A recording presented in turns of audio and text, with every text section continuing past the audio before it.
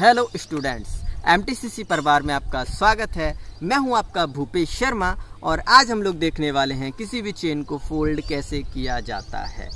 Last video में हम लोगों ने देखा था कि चेन को अनफोल्ड कैसे किया जाता है। जैसे कि हम लोग चेन सर्वेइंग जब करते हैं तो सबसे पहले हम लोग को चेन को खोलना होता है, यानी कि उसको अनफोल्ड करना होता है।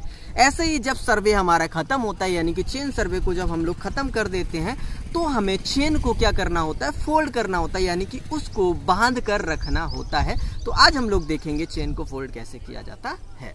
तो जैसे कि हमें कोई भी चेन को जैसे कि हमें फोल्ड करना है तो फोल्ड करने से पहले हमें एक डिसीज़न लेना होता है। ये डिसाइड करना होता है कि हमें फोल्ड करना है चेन को तो किस टाइप से फोल्ड करना है? या तो सिंगल फोल्ड करना है या डबल फोल्ड करना है। ठीक है? तो सिंगल और डबल फोल्ड में लास्ट वीडियो में बता चुका हूँ क्या होता है। तो पहले हम लोग देखते हैं इधर। कि जैसे कि मान लीजिए कि एक चेन ये है और एक चेन ये ये तो हमारी दो चेन हैं। तो जिस वजह से हम एक चेन को हम लोग सिंगल फोल्ड करेंगे और एक चेन को हम लोग डबल फोल्ड करके देखेंगे।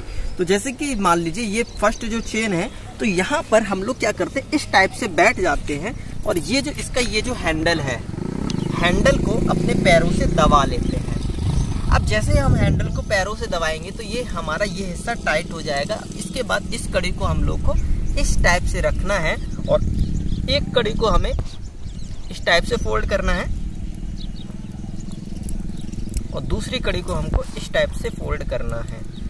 फिर यही क्रिया हम तब तक दोहराते हैं जब तक हमारी चेन क्या है?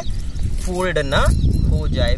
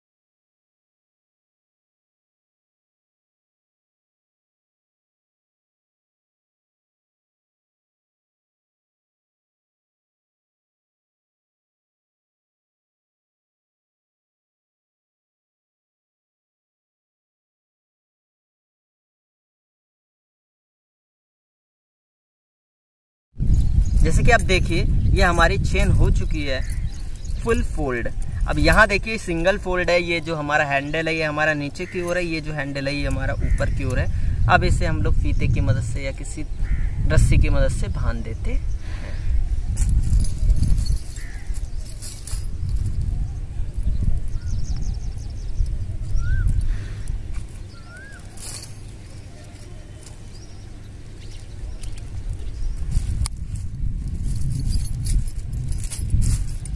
इसी के साथ ये हमारा बंडल हो गया है, तैयार। अभी हम लोगों ने देखा था कि हम लोग जो हमारी चेन है सिंगल फोल्ड कैसे करते हैं। अब हम लोग देखने वाले हैं कि किसी भी चेन को हम लोग डबल फोल्ड कैसे करते हैं। तो डबल फोल्ड करने से पहले जैसे कि हमारी ये जो चेन है, ये हमारी इसका ये जो हैंडल है, यहाँ पर एक हैंडल है, हम लोग क्या करेंगे? ये जो दूसरा हैंडल होगा उसको भी यहीं पर पकड़ लेंगे। जैसे कि हम लोग देखिए, ये जो दूसरा हैंडल है, उसको हमने क्या कर लिया? यहाँ पर पकड़ लिया है। अब जैसे कि हम लोग अगर देखें सामने, ये जो हमारी जो चेन है, यहाँ पर ये जो चेन है, पूरी की पूरी क्या हो गई है? डबल हो गई है, यानी कि दोहरी हो गई है यहाँ से। यहाँ पर देख रहे हैं कि यहाँ पर हमारी पूरी की पूरी चेन डबल हो गई अब जैसे कि हम लोग लास्ट पॉइंट पर आएँगे तो लास्ट पॉइंट पर हम लोग आएँगे तो यहाँ देखेंगे कि ये जो जैसे कि ये हमारी 20 मीटर की चेन है तो यहाँ पे 10 मीटर। यानी कि यहाँ पर हमारा कितना लिखा है? 10 मीटर। यानी कि यहाँ से हमारी चेन दो भागों में डिवाइड हो जाएगी, यानी कि 10 और 10 मीटर। अब हम लोग क्या करते हैं, इसको डबल फोल्ड करते हैं।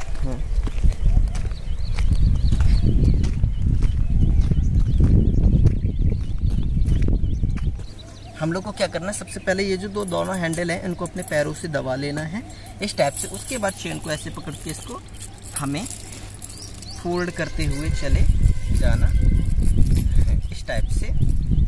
और जैसे कि सिंगल फोल्ड में हमें थोड़ा सा टाइम ज़्यादा लगता है, यानी कि टाइम जो होता है ज़्यादा लगता है, लेकिन डबल फोल्ड जो होती है वो आसानी से हो जाती है और इसमें टाइम भी हमें कम लगता हो है। और डबल फोल्ड के बाद हम लोग इसको अनफोल्डिंग भी आसानी से कर लेते हैं। तो ज़्यादातर हमारी जो चेन है हम लोग यूज़ करते हैं। तो ज़्यादातर हमारा, हम लोग यही यूज़ करते हैं, यानी कि चेन को डबल फोल्ड करते हुए रखते हैं।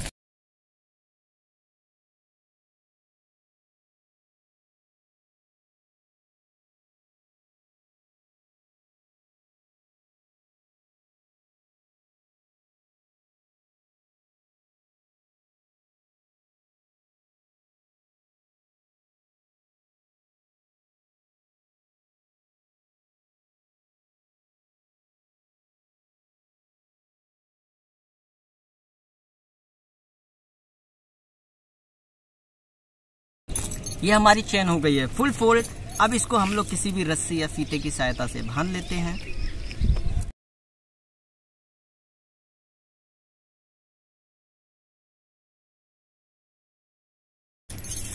हाँ तो यहाँ पर देखिए कि ये जो हमारी चेन हो गई है फुल फोल्ड और यहाँ पर ये देखिए हमारे दोनों हैंडल जो है वो लास्ट में आए हैं।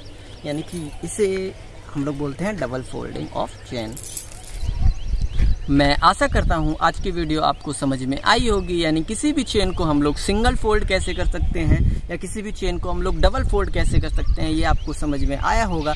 अगर आपको अभी भी किसी प्रकार का डाउट है तो आप लोग कमेंट बॉक्स में अपने डाउट्स को क्लियर कर सकते हैं, यानी कि अपने क्वेश्चंस को पूछ सकते हैं।